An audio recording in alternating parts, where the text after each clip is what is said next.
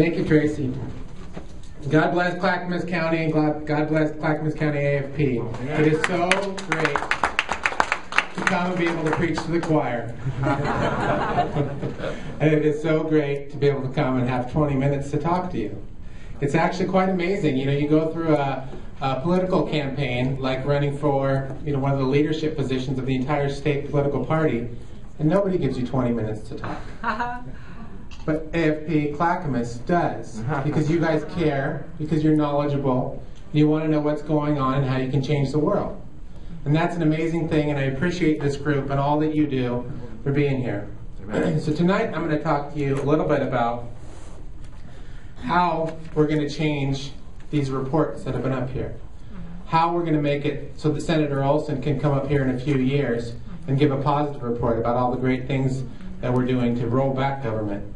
Representative Kennemer can talk to you about how many positive things we've done to restore freedom and liberty in this state. Mm-hmm. That's our goal as the Republican Party, and that's what I'm going to talk to you a little bit about today. We've seen, as Representative Kennemer talked about, what it's like to have 28 years of one party rule in this state.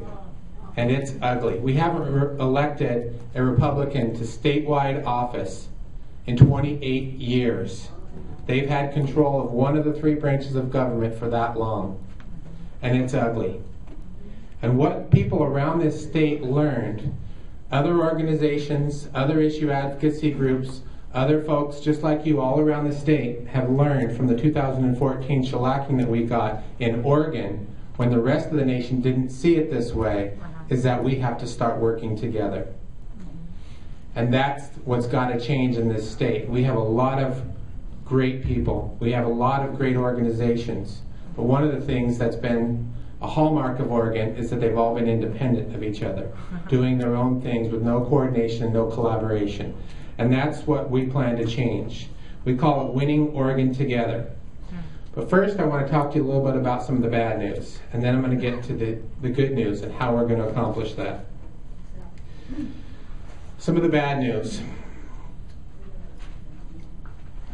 I want to tell you a couple of stories. Um, John's introduction of me was a rural business attorney. That's what I do as a profession. I'm an attorney. I represent a lot of small businesses. So I get to see firsthand, oh, great. I get to see firsthand um, the runaway government abuses that take place on small business people. And the runaway abuses that take place even when citizens fight back sometimes to stop the runaway government. There's a little story about a gymnasium in Portland, a children's gymnasium, a nonprofit organization. Makes twenty to thirty thousand dollars a year in revenue. Barely has enough to pay their high school gymnastics kids to teach little four, five, six, seven, eight year olds and run a team around. Barely has enough money to even get by and do that. An older fellow whose kids went through the program happened to be leasing a back room, a room in the back of the building. And the building was going to be evicted because this little nonprofit didn't have enough money to pay their rent. He had an emotional attachment to this little nonprofit corporation, so he decided to get involved. His, his daughters had grown up, had kids of their own, gone on, but he had an emotional attachment to this. So he decides to take it over. The outgoing board says, This thing's bankrupt, you can never turn it around, you'll never be able to do it. He busts his rear end for three years straight. Department of Justice Charitable Activities Division comes in and starts attacking him because he didn't turn in his CT12 form, if you know what that is. It's a little form that the Department of Justice requires every nonprofit to turn in to drop their pants and show them everything that's going on behind the scenes. Well, if the Department of Justice doesn't like that form, they use their subpoena power to force you to turn over your records, to force you to give them the accounting statements, to force you to give them your audits. As any of you that have ever been involved in a tiny little nonprofit like that, you don't have audits. You're lucky if you've got any kind of formal books. So if you don't have those things, the Department of Justice comes next to you and says, hmm, you're a nonprofit. We've got this cockamamie theory that if you're a nonprofit, all of your assets are public assets. And if they're public assets, you're operating as a trustee. And since we say you're in violation of these laws, we can force you to go and get an accounting, charge you attorney's fees, and um, shut down your operation and force the board of directors to pay for all the money that's been spent over the years. Fortunately, they had people fight, stand up and fight back with them. We defeated all those arguments in court. So what does the Department of Justice do last session? Without telling the people that, you know, won the battle, without telling the nonprofit, our Senate and legislature didn't bat an eye at it because we checked the voting records. The Department of Justice Charitable Activity Division goes in, sneaks through changes to the bills to make it such that any nonprofit organization, the, the directors of a nonprofit, can be treated as trustees, which enables them to force you to do an accounting, to get attorney's fees, and to force you into all these horrible scenarios that never existed before that kind of case. And nobody was the wiser because we weren't no, you know, if we don't have any organization that's large enough and paying attention enough to catch that kind of thing. Wow. It's an example of what kind of government overreach and large government gone amok. Another example. Our state government, with 28 years of one party rule, is so coordinated amongst themselves. Let me tell you a little bit of a story about the Geiger case just recently. If you recall, in 2004, it was 2000, 2004, 2006, we passed Measure 36 by a huge majority. Amended the Constitution to make define marriages between one man and one woman. Public had spoken not very long ago.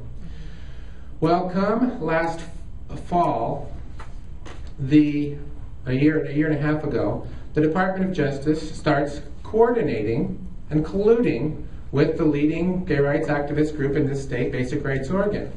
They start planning together a plan to overturn that constitutional amendment.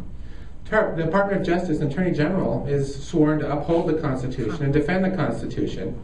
But what do they do instead? No, they plan and collude for about four months prior to Basic Rights Oregon filing the lawsuit to try and overturn Measure 36. And what does the Attorney General do? Do they even pretend to fight and defend the Constitution? No.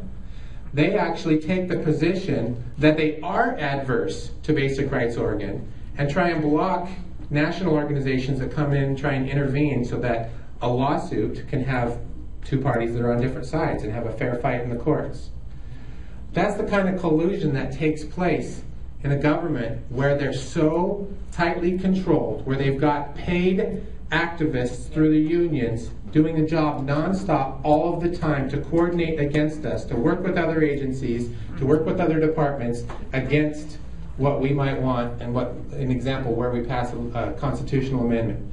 Those are a couple examples of government gone amok, but I want to also give you an example of how thin the line is on how a few people can change a world of difference in the outcome. Now, this is an example of a failure where a few people didn't do that and where we failed. I heard that next month you're having uh, Aaron and Melissa Klein from Sweet Cakes by Melissa, a client of mine um, that we represent against Bureau of Labor and Industries. And the end of my story will touch on them.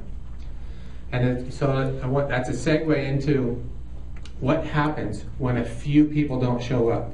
How many, are, is there anyone here that remembers a little bill from 2006, 2005 it must have been, called the bathroom bill.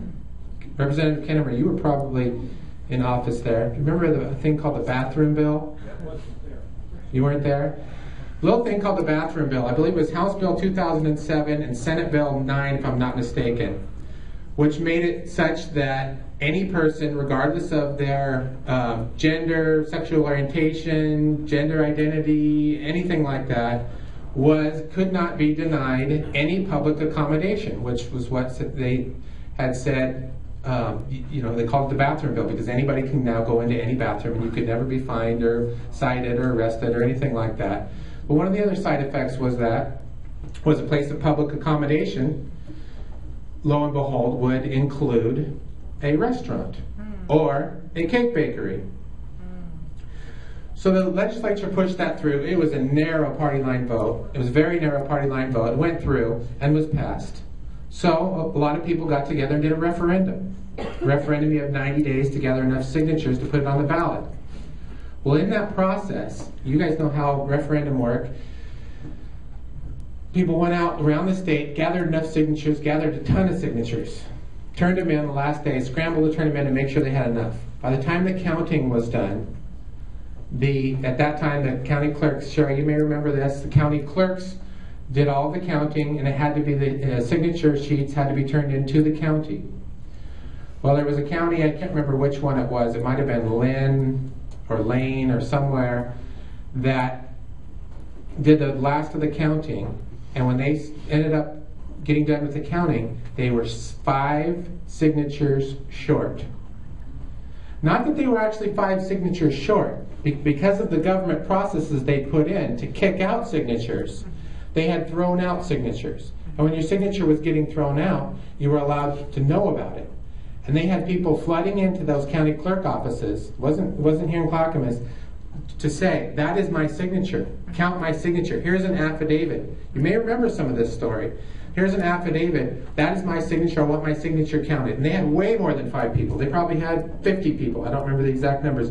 Go into those county clerk offices and say, that's my signature. Do not throw that out.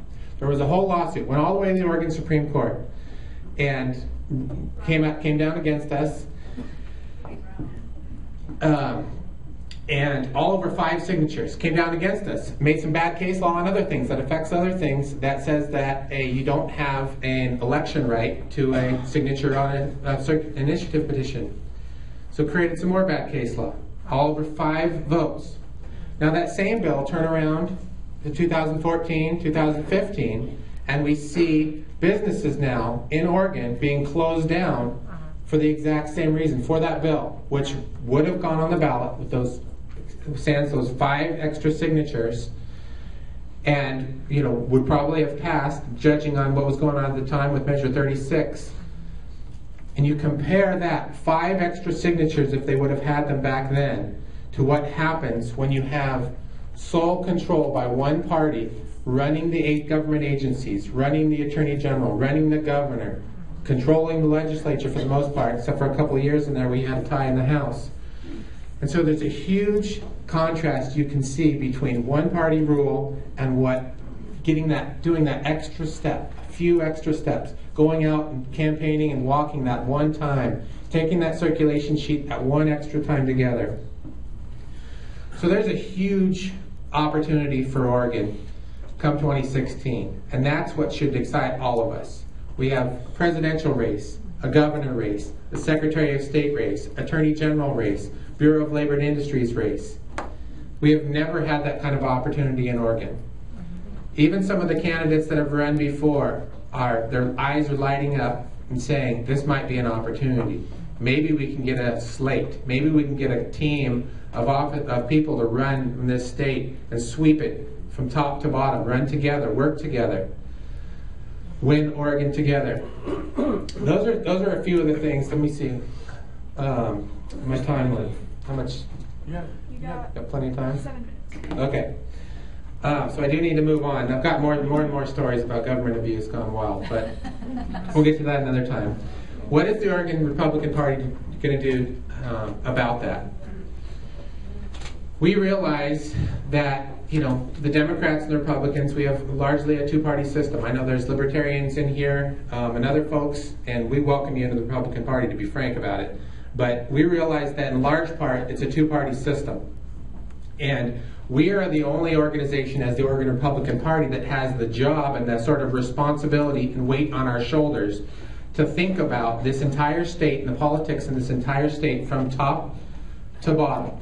Everything from governor and president all the way down to local school boards you've, if any of you are involved in the Clackamas County Republican Party, you see we're doing water boards and school boards, and you see Richard Burke, you know, recruiting people and training people. And Sue Houston's probably called you. I bet you everybody in this room has been called by Sue Houston at one point in time.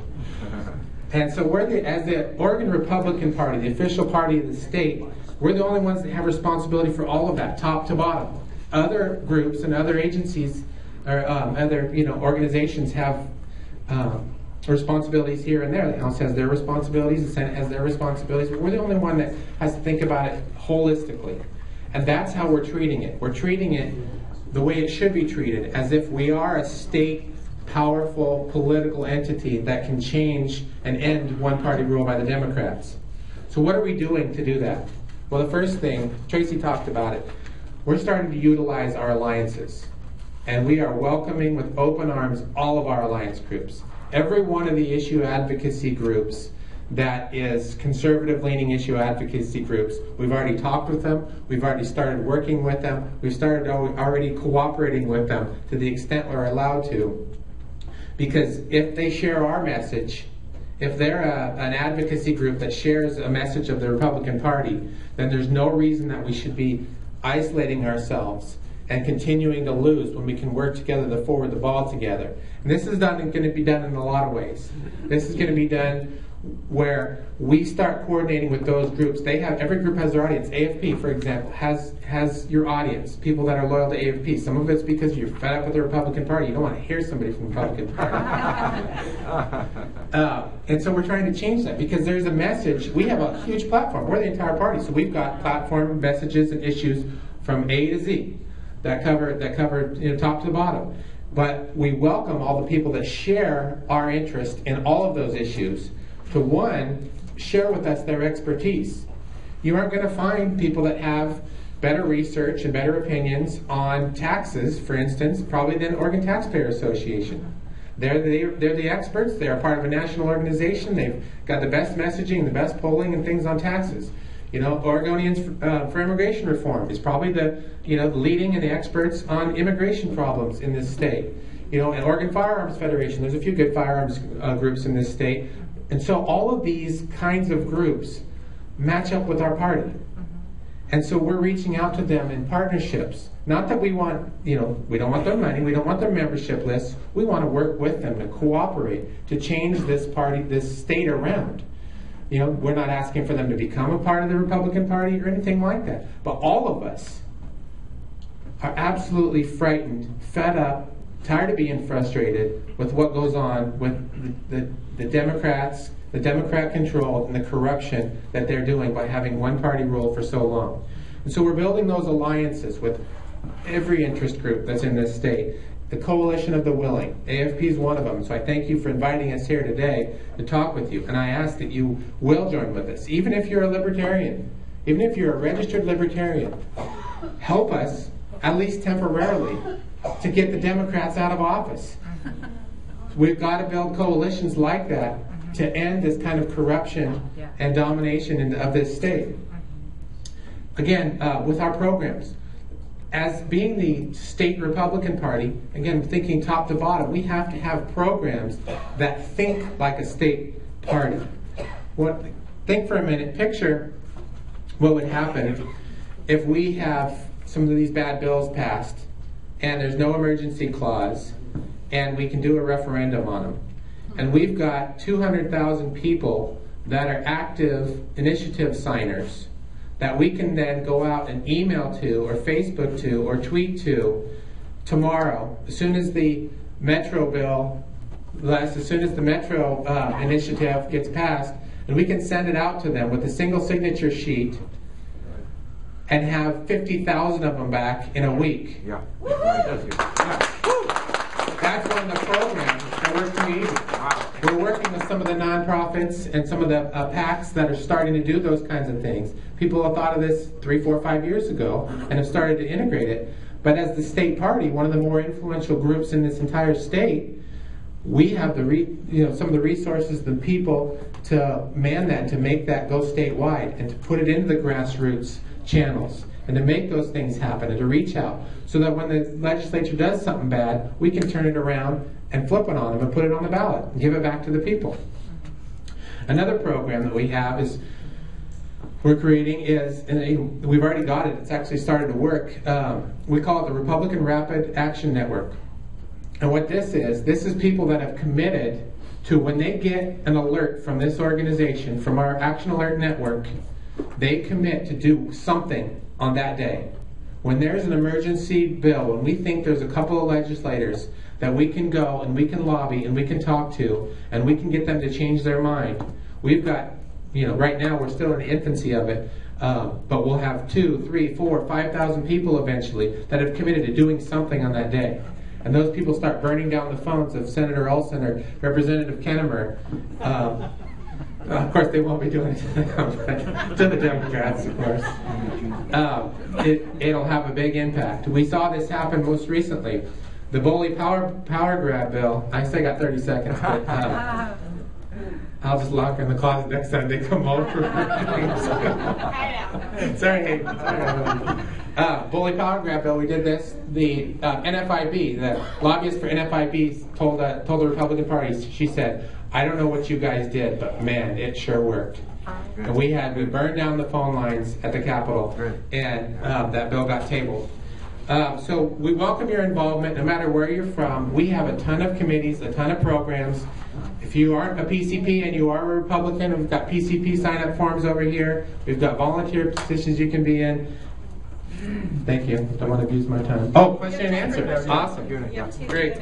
We have 10 answer. minutes for Q and A, so if you have a question for Tyler, show of hands here. Or, okay? Jim. So have you identified some winning issues?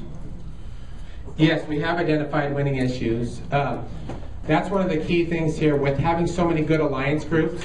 You know, uh, the alliance groups are experts in their own field, and they know what messaging and what issues they have that are winning issues. And so they match with our platform. And so what we're going to be talking about are what the issues are that are hot given the, the current time. You know, we, we've got a platform and it's a bunch of sophistry and it's got great message and I agree with 100% of it. But most of the time, those aren't messages that are resonating on the news. Those aren't the messages that are resonating to enough of the voters come election time that it really motivates them. But the messages, for instance, like right now, people that are up in arms about the uh, Senate Bill 941 and gun registration, it's a hot issue. You know, so we bring that to the forefront right, right there and talk about that, and the message on the issues that already match with us, but are hot in the press. Next, yes. Seems to me like we need to get somebody running in the party. There's nobody running running against those people. You're right. Um, you're, you're absolutely right. We don't have anybody running yet. I think there's going to be some announcements in about two weeks. Um, and we were had a meeting with Jan Brewer yesterday, and this is absolutely a problem that we have in this state, and one of the examples of why we need to come together. We have. I, I was. I asked um, Governor Brewer, you know, if she would, you know, and, and some of her governor friends provide some mentorships to some of our statewide candidates because we don't have any examples. We don't have any mentors that can teach one of our statewide candidates how to win a statewide race. Sure, we got some great guys that have run and lost and can tell them what not to do.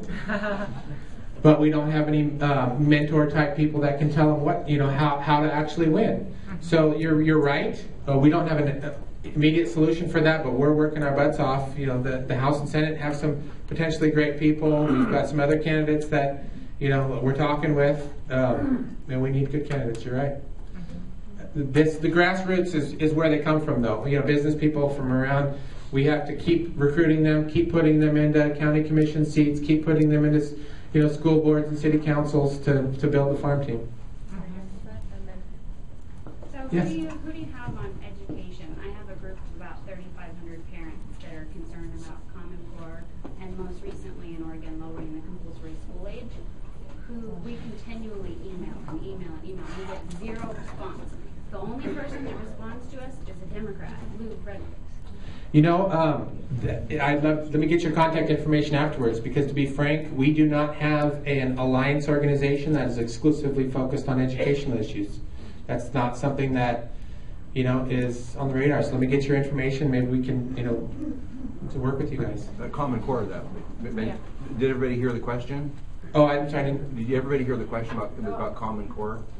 Oh, what, what was the question. question? Did everybody hear the question? Question? Can you tell the question again? She was asking who we have to contact in relation to education. And the only one that was responding to the requests was a Democrat legislator. And so she's wanting a contact on our side of the fence, a conservative side of the fence, to get in touch with to help with advocacy for our side of the uh, the ball in ways of education and and far and yeah the other side of Common Core, which unfortunately Car- Representative Carl Wilson did sponsor a bill that would take the requirement from the state oh, and and and make that requirement go away that the sc- local school boards could then decide whether or not they wanted to align with Common Core. And Margaret Doherty yesterday flat told me when I asked her, "Are you going to give this a work session to vote on it?" She looked me straight in the eye and said, "No." Wow. So that's where we are, Yeah. and we need advocacy and education and anti-Common Core. Don't forget. And yeah, thank you for, and keep in mind that a lot of people don't know this, you know, maybe I need to mention this in an AFP meeting, is that, you know, the Oregon Republican Party is not the RNC. The RNC is a national organization, separate, distinct. We have three people that get to go and participate in that, so it's not the same thing. And the same thing with the House and Senate. The House and Senate are their own caucuses, are their own entities. The Oregon Republican Party isn't in charge of them, isn't, you know, anything on that. So they're all separate entities, and we're really working together much more than we've ever had in the past. But I was answering it from the essence of the Oregon Republican Party. The House and Senate have lots of education experts. If you, if you have any more questions for Tyler, But this oh. one gentleman was, we already said yes and we interrupted him, so we should let him go. I'm sorry. He was very kind and patient. we're having a, we're having a spat here. So, let him ask his This- question. This is a great question, and, and I'm gonna strike a nerve.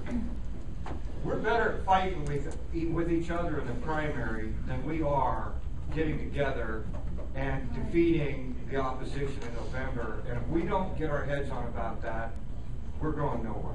So just comment about how are we gonna, you know, fight a good fight with each other, but then be united after the primary. Well, you're, you're right, Les. And, you know, there's, you're never going to always be able to avoid any kind of a primary battle. Because there are people with ambitions and we're, there's humans out there. Just like I was talking about earlier, you know, we welcome independent party members, libertarians to vote for our Republican candidates when we get past the primary because we've got to beat the Democrats. Mm-hmm. We absolutely have to. And that's the message that we've got to get, even on single issue people, even people that have, you know, focus on one issue, we've got to have them get past that so we can unseat this, you know, state of one, you know, a state of tyranny right now, one party rule. Uh-huh. I'll be here. Thank you.